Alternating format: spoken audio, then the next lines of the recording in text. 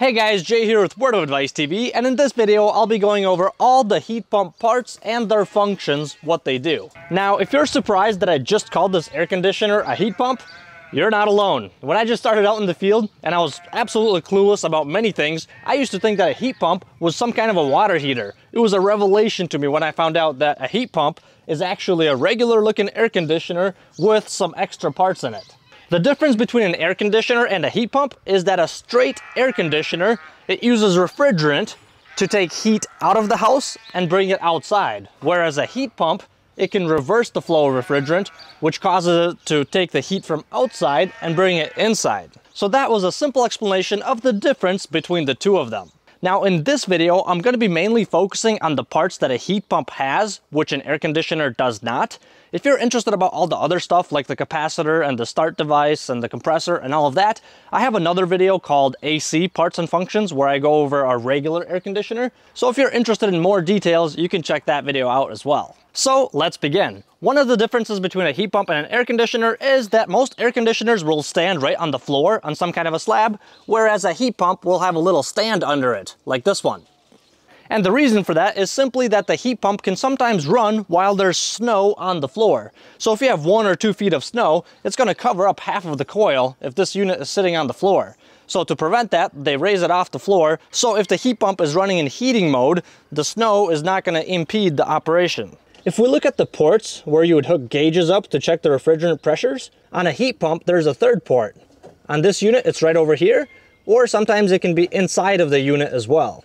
Because a heat pump can reverse the flow of refrigerant, this suction line would become a discharge line. So if you're gonna add refrigerant in the heating mode, you would not add it through this line, you would add it through the true suction line, which would be this port right over here. If you're adding refrigerant in cooling mode, then you would do it like normal. You would either add it through here, or if you wanted to, you could add it through here. If we look in the electrical section, everything is the same except a heat pump will also have a defrost control board. And that is because when the unit is running during the winter, when it gets colder, sometimes it'll start to ice up or freeze over. When that happens, the temperature sensor that's inside mounted on a pipe, I can show you that a little bit later, that will trigger this control board to go into a defrost mode. And what happens is it turns it to cooling mode and it turns the condenser fan off, which builds up the head pressure or basically the pressure in the pipes on this outdoor unit the pressure goes up, which increases the temperature, and that thaws out or defrosts this outdoor coil. While the heat pump is in defrost mode, what usually happens is that the indoor backup heat source, whether it be electrical heat strips or a gas furnace, that will turn on to compensate for the time while this is off. So while it's defrosting, the indoor unit will turn on to heat the house. Or another scenario is if it gets too cold outside, Usually if it's below 30 degrees, you can set different heat pumps to different settings on the thermostat. But usually when it goes below 30 degrees outside, then the system will switch over to using the emergency heat or the backup heat source all the time and not even use the heat pump at all. When it warms up a little bit outside, then the system will once again start using the heat pump for the heating. Now let's take a look inside of the heat pump. Sometimes if it's a convenient heat pump, a lot of these components are going to be outside the coil, so you can access them easier. On this one, I have to take the whole top off just to get to all of this. But there are some interesting parts in here. So this over here is the reversing valve. That is the main component that a heat pump has, which an air conditioner does not. That reversing valve is the one that switches the flow of refrigerant, or basically reverses the flow of refrigerant. And when it does that, that makes the condenser coil outside, the evaporator, and it makes the evaporator coil inside the condenser. They kind of switch roles. This reversing valve has a plastic piece inside of it that moves back and forth depending whether you're in heat mode or cooling mode. And that directs the refrigerant either to go through these two pipes or these two pipes. And on the back of it, we have the electrical solenoid. This is the thing that powers it up. So once this is energized, that little plastic piece will move or switch positions. Right next to it, we have the accumulator. The purpose of the accumulator is to not allow any liquid refrigerant to get back into the compressor. Liquid refrigerant is bad for the compressor, so in order to prevent that, we have the accumulator, which catches any liquid refrigerant that gets up to this point. By the time it gets to this point where it's about to enter the compressor through the suction line, all the refrigerant should be a vapor, but just in case it's not, the accumulator catches the rest of the liquid refrigerant if it gets there. Another big difference between an air conditioner and a heat pump is that the heat pump will have an outdoor metering device. Whether it be a piston or a fixed orifice or a TXV, there will be two, one outdoor and one indoor. But the system does only use one of them at a time. If it's in heating mode, it'll use the one outside, and if it's in cooling mode, it'll use the one inside. And these things have a check valve inside of them, so refrigerant can flow freely one direction and it gets restricted or metered when it's going the other direction. That's how they achieve only using one of them at a time. If we look further down, we have our low pressure switch and high pressure switch.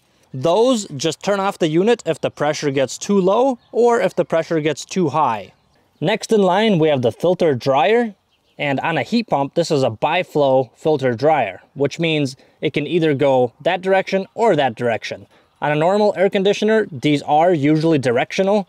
You can only have refrigerant flowing through them one way. And the purpose of the filter dryer is to catch any moisture or debris that may have gotten into the refrigeration system. Usually you will only find these on the discharge line, on the thin line. It's pretty rare when you see a filter dryer on the suction line. And if you look at this thing over here, which looks similar to that filter dryer, this is a muffler. And its purpose is very simple, and that's to dampen the noise of the compressor so it's not obnoxious and disturbing the local peace. And even further down, we have our thermal limit. That measures the temperature of this copper line right there, which also indicates when the defrost control board will trigger defrost mode. When this gets cold enough, it'll go into defrost. And these two black wires right over here go to the crankcase heater, which is usually under the compressor or around the bottom of it. And that's to warm the compressor if it's really cold outside to make sure that the oil inside stays warm. Well guys, and those are pretty much all the parts that a heat pump has, which an air conditioner does not. I hope you found this video helpful. Thank you so much for watching. If you enjoyed this video, don't forget to mash that like button, and I'll see you next time.